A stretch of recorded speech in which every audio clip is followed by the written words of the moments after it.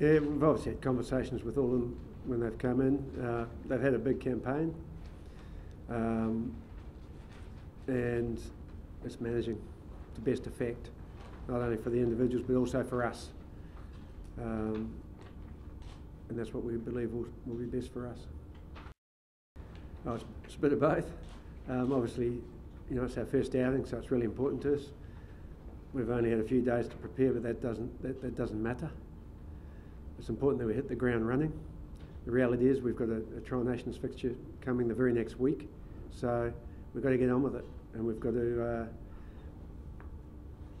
uh, ideally play well, get an outcome.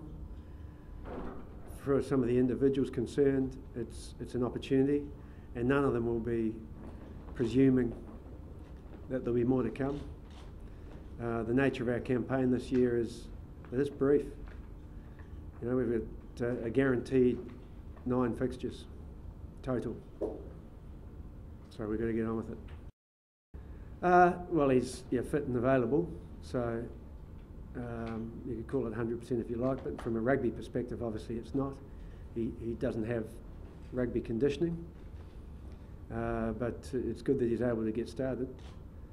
And uh, we'll just respond to what we see, see how, in terms of in game, and uh, go from there. Benn Robinson? Yeah, no, he's not great. Um, he, he picked up an injury from what looked like a pretty innocuous situation in training, just carrying the ball.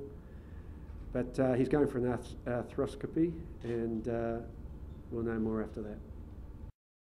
Well, obviously, both of those players have had those opportunities off the back of uh, a lot of Super Rugby time, and it's the first uh, significant chunk of Super Rugby time that they've both had. Um, Sitaleki's been around a number of franchises, but he really seized the chances he had with the Waratahs this year and impressed. Um, Nick Phipps, obviously, you know, the, the expansion with the Rebels coming into the competition provided him with his opportunity. And, um, you know, from starting the year as essentially third ranked halfback, he secured the number one spot and played nearly every minute and picked up the player's player, I, I think. So um, that's a good effort, and he's, he's rewarded for that. Um, he came away with us on the end of the year tour last year, so he's, he's been exposed to some of the philosophies and to the group, and uh, to that end, he's, he's entered really well, and he'll be jumping out of his skin on the weekend, I'm thinking.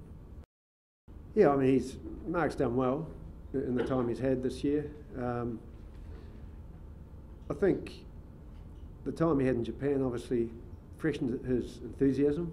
You know, he was, as he said at the time of departure, he was looking for a, a fresh challenge.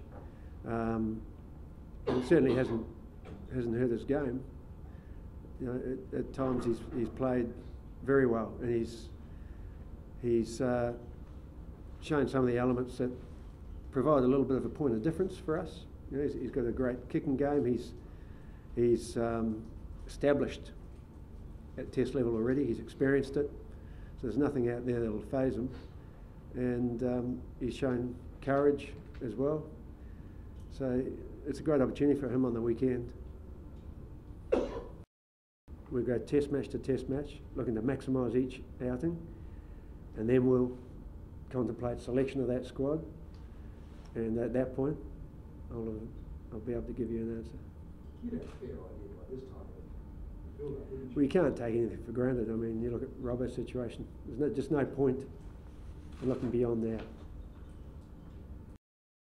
The thing that people need to realise, and obviously the, the most immediate people is, is our group, is that this is a World Cup Samoan combination.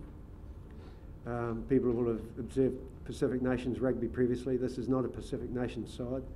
This is a side that's been gathered from the best Samoan players across the globe, which, which so a lot of them come out of Heineken Cup. They come out of professional rugby in Europe.